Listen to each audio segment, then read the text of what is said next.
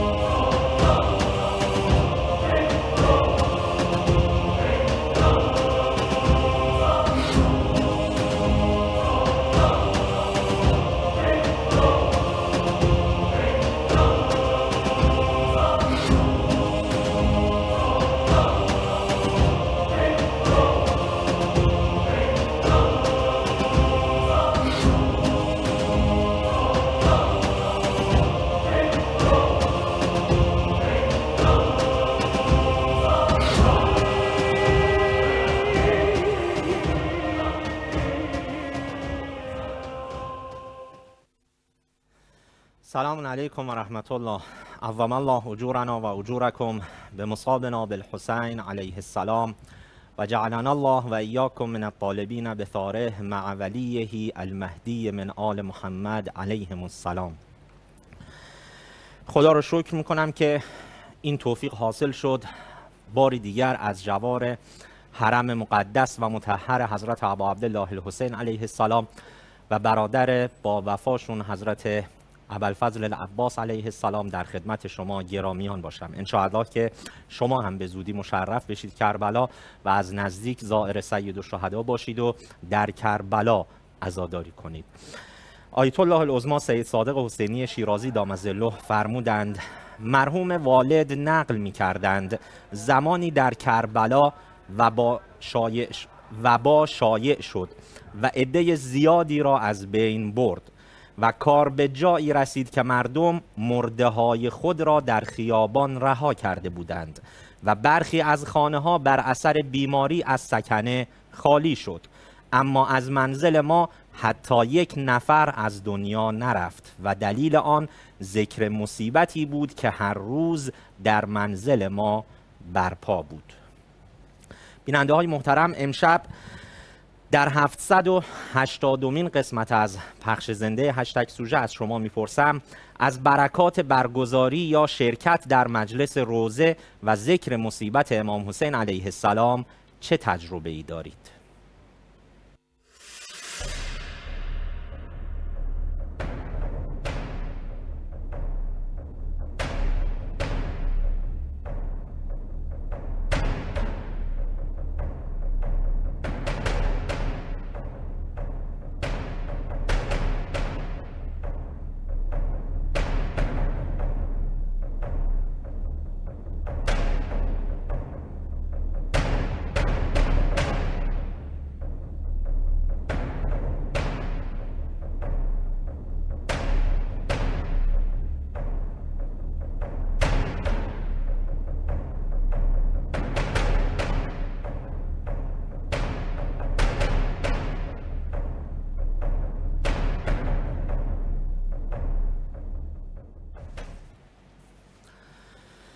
بله بیننده های محترم صدا و تصویر من رو از شهر مقدس کربلا بین الحرمین استودیوی شبکه امام حسین علیه السلام دریافت می‌کنید. آیت الله العظما شیرازی در فرازی در سخنرانی که داشتند اشاره به این مطلب کردند که در طول تاریخ شیعه و حتی در زمانهایی که بیماری های همگیر در عراق در همه شهرها گسترش پیدا می کرد هیچگاه هیچ عالمی زیارت رفتن به کربلا یا شهرهای دیگر و زیارتهای دیگر رو ممنوع اعلام نمی کرد در راستای همین بیانات فرمودند که در طول تاریخ چندین بار شهرهای مختلف عراق من جمله کربلا و نجف اشرف دچار تاون وبا و بیماری شد و برخی از علمای بزرگ شیعه بر اثر آن فوت شدند که در کتابهای تاریخی از جمله اعیان و شیعه و اعلام و شیعه و خاتمه مستدرک به آن اشاره شده است. وقتی تاریخ رو ورق بزنیم می‌بینیم که بیماری های فراگیر بیماری های همگیر اپیدمی های مختلفی در طول تاریخ ثبت شده. اپیدمی هایی که چند قاره و کشورهای مختلف رو درگیر کرده. در برخی از این اپیدمی ها می‌بینیم که هفت سال طول کشیده. برخی از اونها سه سال طول کشیده بعضی از اونها دو سال. و قربانی های فراوانی هم داشته. برخی از این اپیدمی ها قربانی های میلیونی داشته برخی کمتر برخی بیشتر. در تاریخ همه اینها ثبت شده که معمولا وبا بوده اون بوده یا تیفوس بوده این معمول ترین اپیدمی هایی است که در طول تاریخ ثبت شده و قربانی های فراوان گرفته. یکی از قدیمی ترین اپیدمی ها رو که کشتار فراوانی هم در پی داشته در تاریخ نوشتن که تا اون در قرن دوم میلادی بود که حدود 500 هزار نفر قربانی داشته در قرن دوم میلادی. یا تا اون که در متون تاریخی به مرگ سیاه هم ازش تعبیر میشه بیماری تا اون در قرن چهاردهم میلادی حدود دویست میلیون نفر رو در سراسر جهان قربانی کرده. حالا از کجا شروع شد به کجا ختم شد گستره این اپیدمی ها همه با جزئیاتش در کتب تاریخی نقل شده یا تا اونی که در قرن 17 میلادی ثبت شده و باعث مرگ صد هزار انسان در لندن شد. و عرض کردم بسیار زیاد هست. اپیدمی های حالا برای نمونه عرض کردم این چند مورد رو. نکته جالبی که هست راجع به ونیز نوشتن که در قرن چهاردهم میلادی وقتی که مرگ و میر به خاطر بیماری تاون و این اپیدمی زیاد شد ریشه یابی کردند متوجه شدند که به خاطر کشتی است که به بندر ونیز میان و بیماری رو با خودشون میارن. لذا قانون گذاشتند هر کشتی که وارد می‌شد تا چهل روز در بندر نگه می داشتند به اصطلاح قرنطینه می کردن پس از چهل روز اجازه ورود بارها و انسانهایی که در کشتی بودند رو پس از چهل روز به داخل شهر می‌دادند.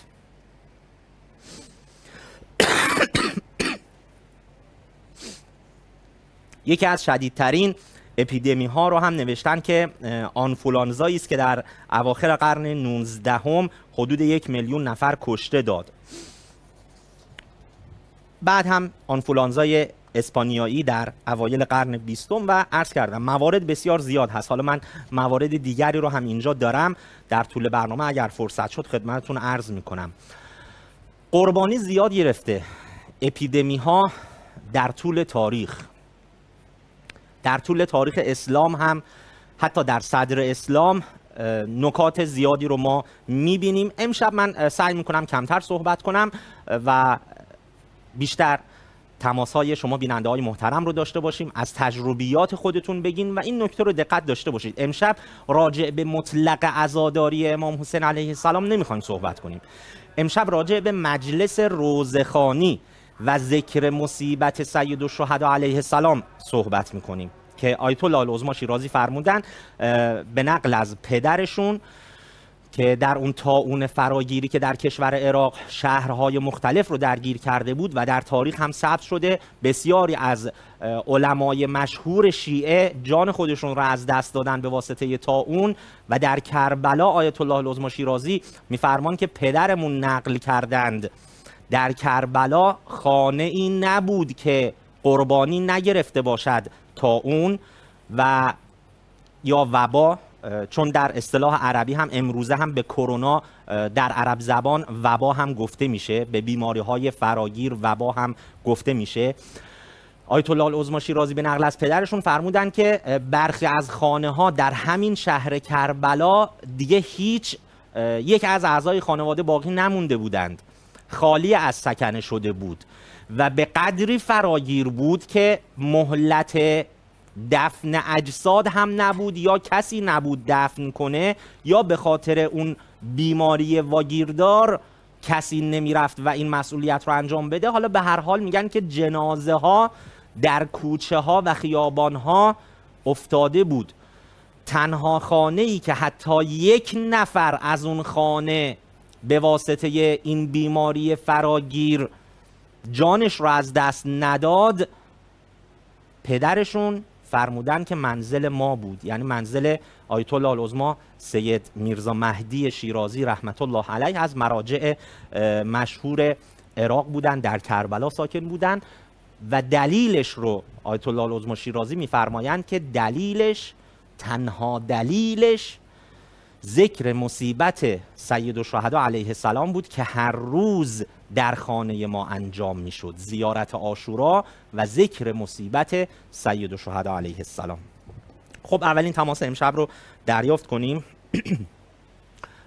اسمشون رو بفرمایید. آقای مرتزا از کویته پاکستان سلام علیکم. سلام علیکم. اقوام الله اجورکم. آقا مرتضا بفرمایید از تجربیات خودتون بگید از برکات برپایی مجلس روزه و ذکر مصیبت امام حسین علیه السلام خودتون برگزار کردید یا شرکت کردید؟ سلام مختصر خواهش می‌کنم کوتاه باشه بفرمایید. السلام علی الحسین و علی علی ابن الحسین و علی اولاد الحسین و علی اصحاب الحسین.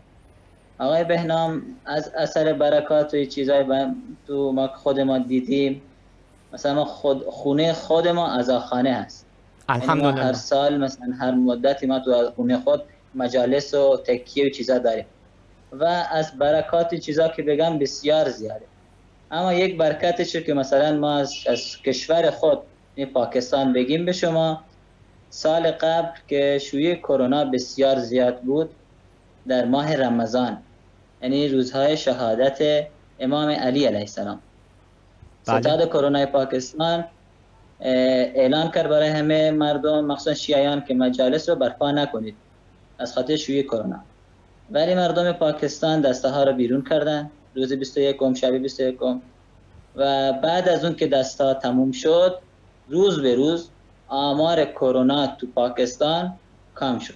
نه تنها برکت این عزا ذکر مصیبت برای شیعیان شد بلکه غیر شیعیان هم از این ویروس کرونا در امان شدن شاید شما خود شما ببینید مثال آمار کرونا رو بعد از این ایام ازا رو به کاهش میاد.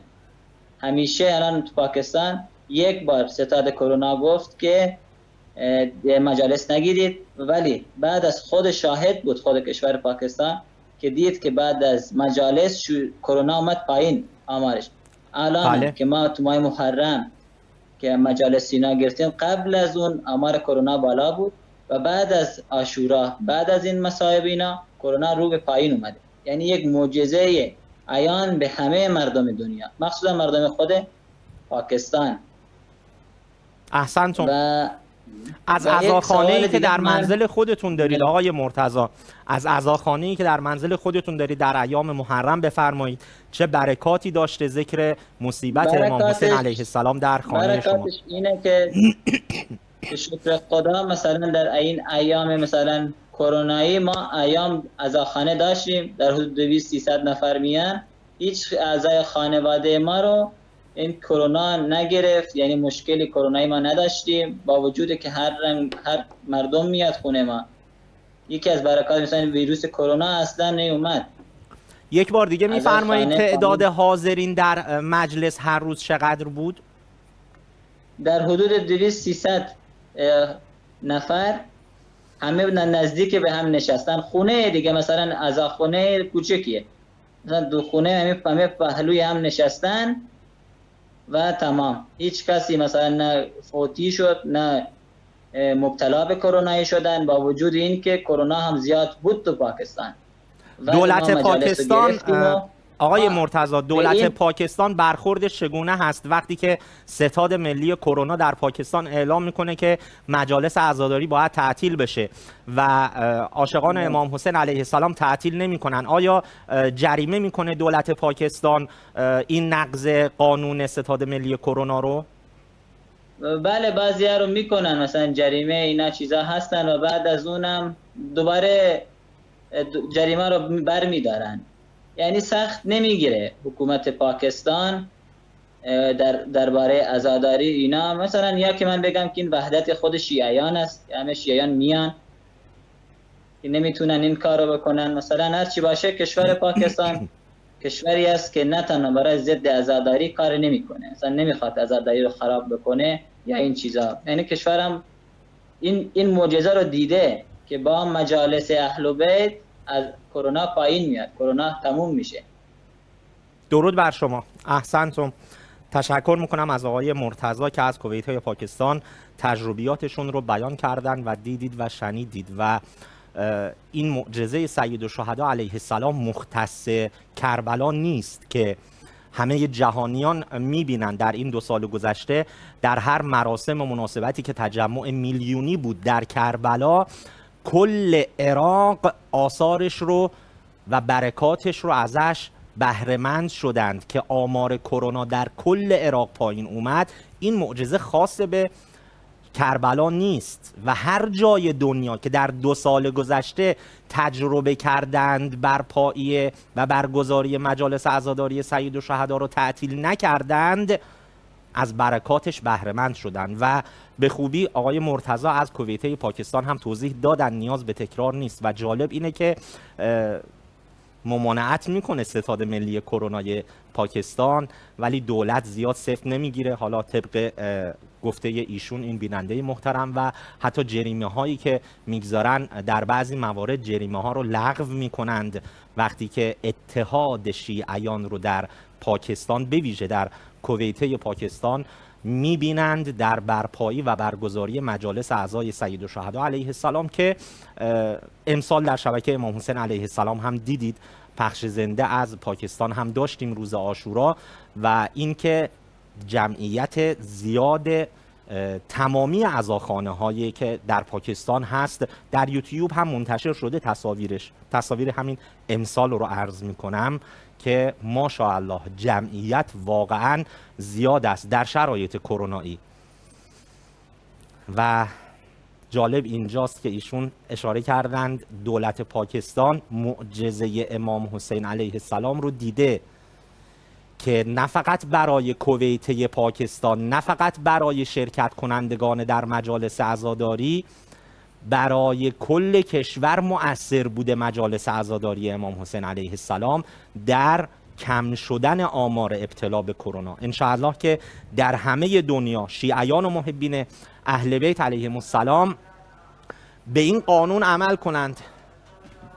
یک قانون دو دو تا چهار تاییه و کسانی که تجربه کردند این رو همه جا اعلام کردن اعلام شده. تجربه کنید. حالا ایشون عزاخانه منزل خودشون رو اشاره کردن که 2300 نفر هر روز در محرم جمع می شدند و یک نفر حتی از اعضای خانوادهشون مبتلا به کرونا نشده. این غیر از معجزه چی می‌تونه باشه؟ و حالا اشاره کردن منزلشون هم زیاد وسیع نیست و نمی‌تونن فاصله اجتماعی رو هم رعایت کنن عزادارانی که در مجلسشون شرکت می‌کنند. با این حال گفتن که هیچ یک از اعضای خانواده ما مبتلا نشد. این از برکات ذکر مصیبت و روزخانی سید و شهدا علیه السلام است که دولت پاکستان هم بهش واقف شده. انشاءالله که در همه دنیا شیعیان اهل بیت و محبین امام حسین علیه السلام این رو تجربه کنند. اگر مریض کرونایی در منزل دارید مجلس روزه سید و شهدا علیه السلام برپا کنید در مجلستون. تجربه کنید. ببینید چی میگن اراقی ها در طور این دو سال آمار کرونا پایین میاد در تجمع هایی که برای عزاداری میشه. ببینید چی میگن پاکستانی ها که نمونه ایش رو آقا مرتزا از کویته پاکستان اشاره کردند. تجربه کنید هر جای دنیا که هستید در اروپا در آسیا آفریقا هر جایی که هستید و الان از هر طریقی که برنامه هشتگ سوژه را از شبکه امام حسین علیه السلام مشاهده می‌کنید. از طریق تلویزیون از طریق فیسبوک از طریق یوتیوب همراهانی که در کلاب هاوس امام حسین تیوی وان صدای بنده رو میشنوند و هر جا که هستید این رو تجربه کنید. و نتیجه تجربه را هر چه که بود برای دیگران نقل کنید. بگید ما مجلس, گرفتیم برای شفای بیمار کروناییمون. نتیجهش هر چه که بود برای دیگران نقل کنید. تماس بعد صداتون رو من ندارم ضعیف دارم. آقای حامد از تهران سلام علیکم. سلام عرض می‌کنم خدمت استاد عزیزم. اول الله حضورکم مطلبی رو متشکرم. و اون مطلبی رو که من تجربه کردم در ماجرای آقا سید و علیه السلام مهمترین بله. چیزی که من دیدم این بوده که همونطور که در قنوتشون فرمودن اللهم اعز که من الافتنان بی خب من به قشر روحانیت و علما همیشه ارادت دارم. ولی اینجا که می‌رسه دیگه قضیه فرق می‌کنه. فقی از متفقه شناخته میشه. علمای حق از علمای باطل شناخته میشن. شما ببینید این همه شبهه‌ای که در مورد آقای امام حسین علیه السلام شده در توحید و نبوت ما سراغ نداریم. از علم گرفته پیراهن مشکی گرفته. تا حضرت رقیه سلام الله علیها سلام الله تک تک جزئیات آشورا رو اینا خدشه کردن. حتی بعضی از عرفا پیدا شدن میگن روز آشورا روز شادی بوده.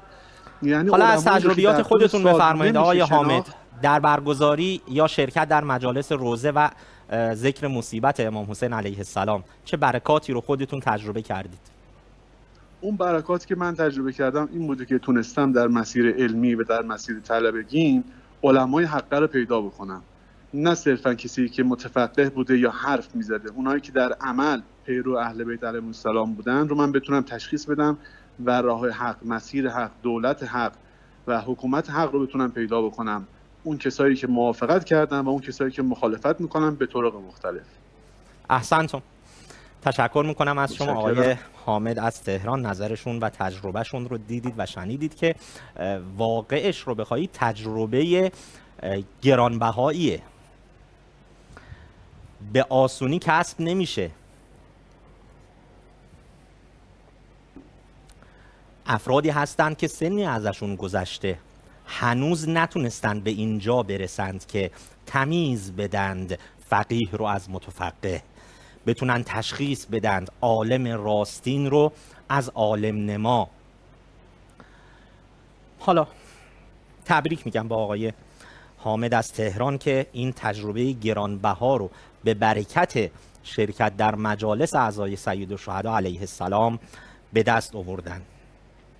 پیامبر خدا صلی الله علیه و آله میفرمایند انما مثل اهل بیتی که مثل سفینت نوح.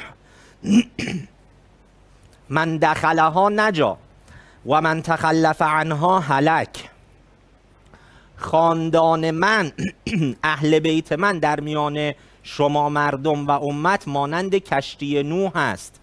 هر کسی که داخل کشتی شود نجات پیدا می کند و هر کسی که تخلف کند از کشتی به هلاکت خواهد رسید.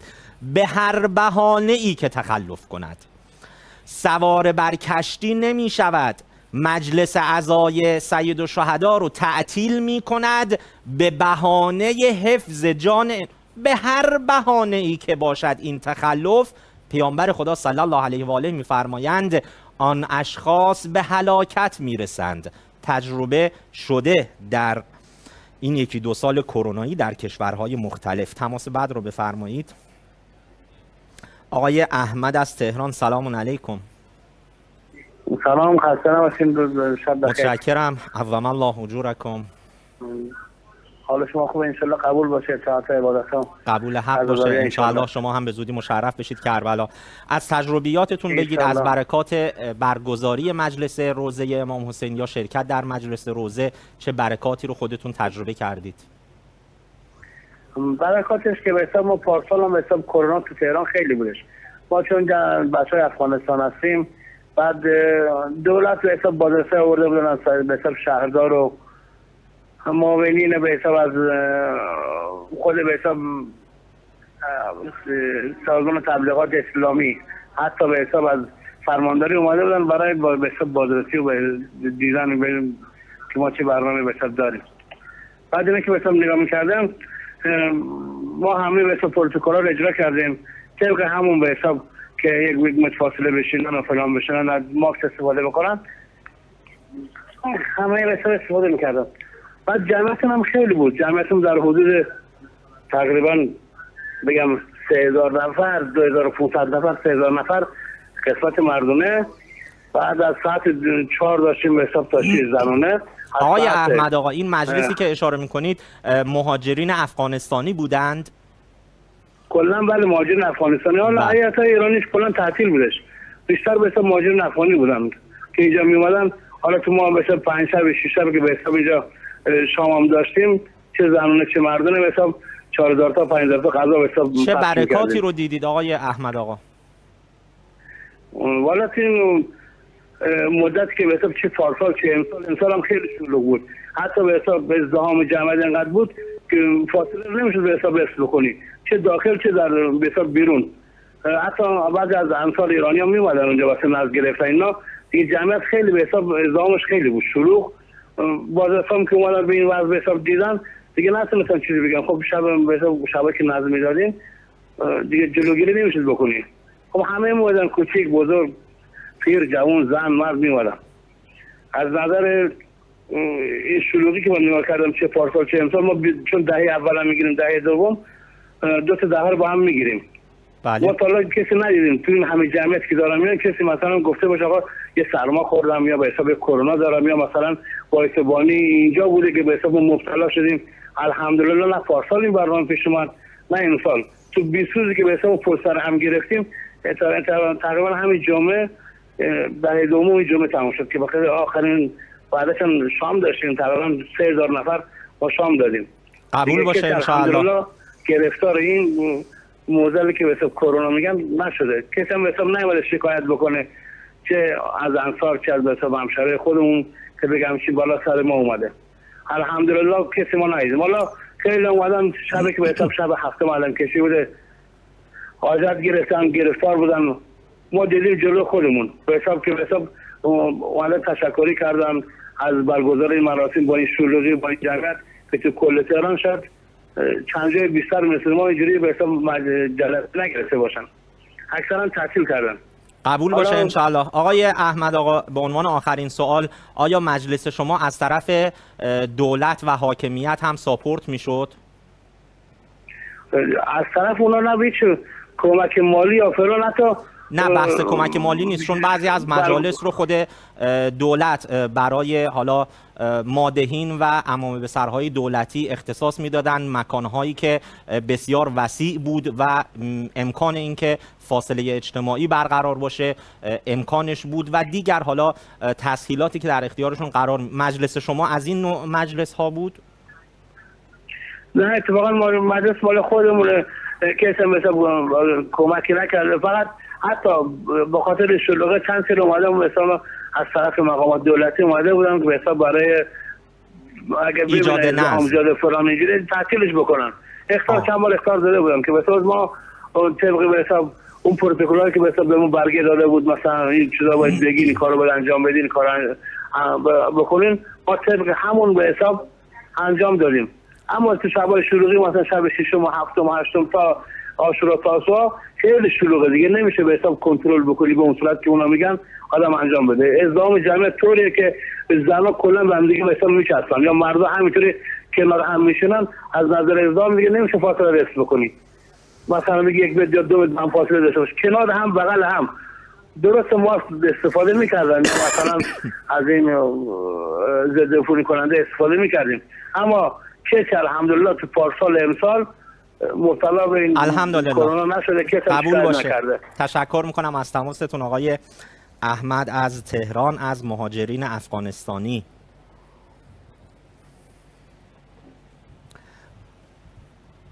ده دوازده روز از آشورا میگذره و ایشون تصریح کردن که با جمعیت دو سه هزار نفری که در مجلس بوده حتی یک نفر هم مبتلا به کرونا نشده.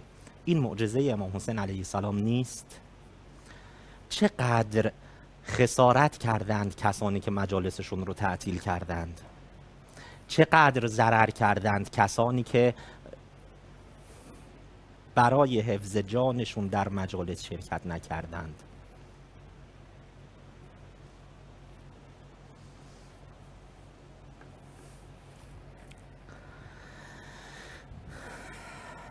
مثال اهل بیت پیامبر خدا میان این امت مثال کشتی نوح است هر کسی که سوار بر کشتی کشتی شد نجات پیدا می کند و هر کسی که تخلف کرد به هلاکت می رسد به هر بهانه ای که سوار این کشتی نشده باشد.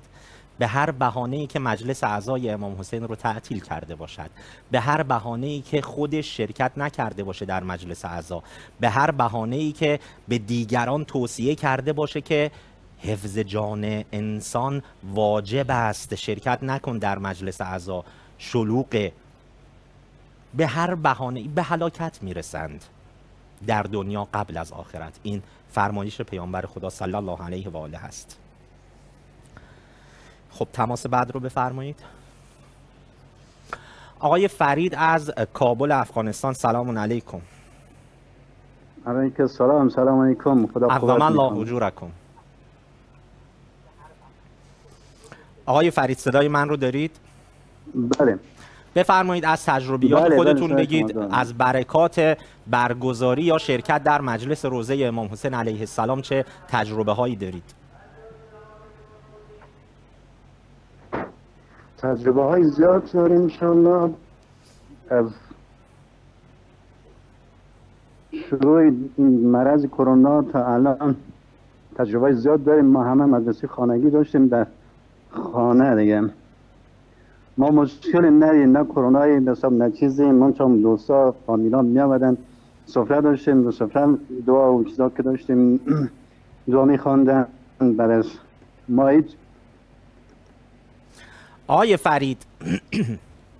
آقای بله. مرتضی از کویته پاکستان گفتند که عزاخانه داشتن در منزلشون. روزانه حدود 200 نفر شرکت می‌کردند و تا الان حتی یک نفر هم مبتلا نشده. آقای بله. احمد که مهاجر افغانستانی هستند در تهران ساکن هستند گفتند که حدود دو سه هزار نفر در مجلس عزاداری شرکت می‌کردند. تا الان که ده دوازده روز از آشورا میگذره حتی یک نفر هم ابتلا به کرونا نداشتن ندیدن در بین کسانی که شرکت کردند. شما بفرمایید در مجلسی که شما برگزار می‌کنید چند نفر شرکت می‌کردند و چه برکاتی داشته؟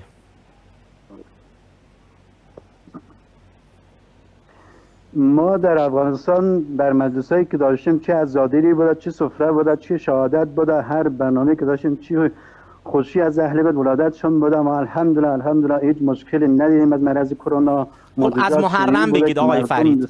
آمدن. بله. از مجالسی که در محرم برگزار کردید بفرمایید. از مجالسی که در محرم سراسر کابل یا افغانستان هر جایی که مثلا مجلس بوده الحمدلله به خوب به شکوه به عظمتش ختم شده شروع شده ختم شده. ما هیچ مرض مشکلی ندیم جز معجزه حضرت سید شهدا جز برکاتش جز نزد نزداد که مردم اولا خوردن یا نشستن دعای کردن یا مثلا مجلس سید شهدا سینه زن بوده هر چی که بوده ما الحمدلله به بسیار به عظمت شکر. الحمدلله شروع شده و شب و روز ختم شده انشاءالله. احسنتم تشکر می‌کنم از تماستون آقای فرید از کابل افغانستان. این معجزه سید و علیه السلام رو هر روز ده ها بار برای دیگران بازگو کنید. برای همگان بگویید. از آثار و برکات برگزاری مجلس روزه امام حسین علیه السلام. مجلس روزه فقط کافی شما اعضای خانوادهتون باشن و خودتون بدون اینکه ذاکر بیاد بدون اینکه مداح بیاد بدون اینکه روزه خون بیاد می‌تونید یک مجلس روزه برقرار کنید زیارت آشورا بخونید و ذکر مصیبت سید الشهدا علیه السلام. و اگر بتوانید شرایطش باشه افراد بیشتری همسایه ها شرکت کنن افراد بیشتر شرکت کنن که بهتر حداقلش اینه. کاری که آیت الله العظما شیرازی فرمودند به نقل از پدر بزرگوارشون در ایامی که تا اون و وبا در عراق فراگیر شد در کربلا انجام می‌دادند. تمام اعضای خانواده هر روز دور هم جمع می شدند و ذکر مصیبت سید و شهدا علیه السلام در خانه بوده.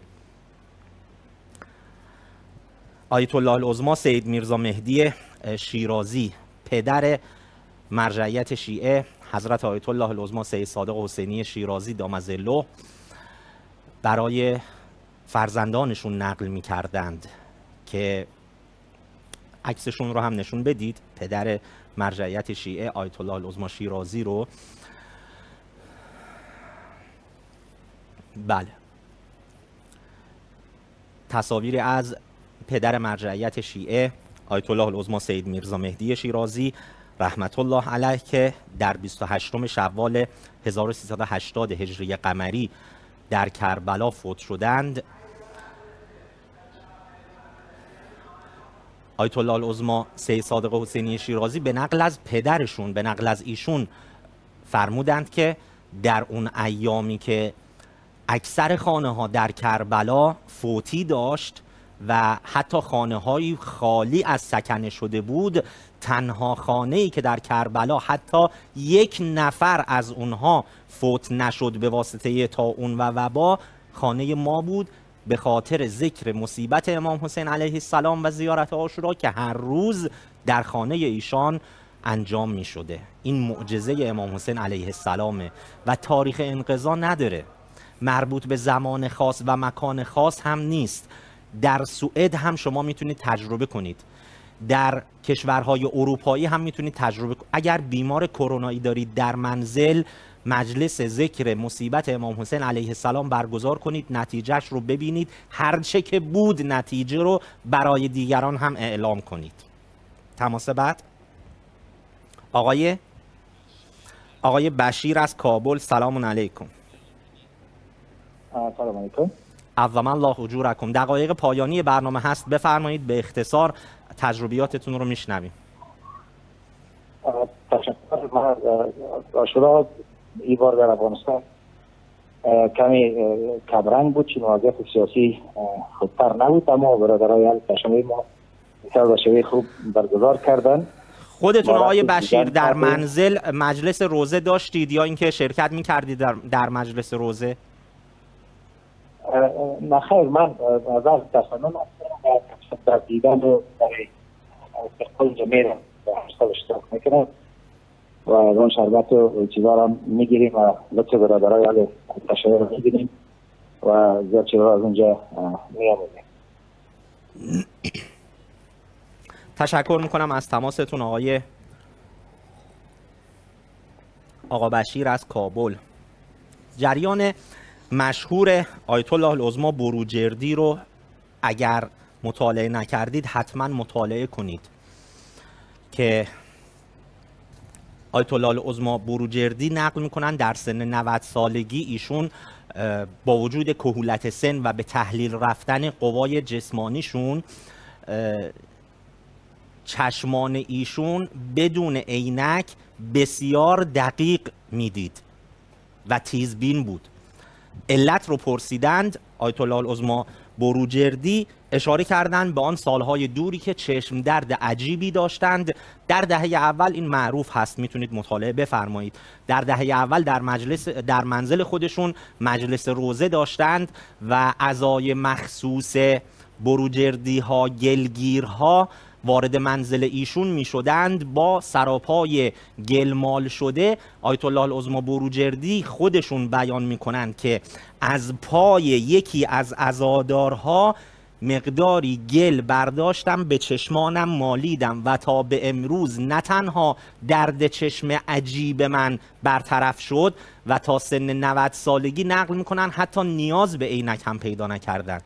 به برکت مجلس روزه سید الشهدا علیه السلام و عزاداری سید الشهدا علیه السلام و دیگر مطالبی که بسیار بسیار زیاد هست و یقینا خود شما هم تجربه کردید. تشکر می‌کنم از همراهیتون دعاگو و نایب زیارتون هستم.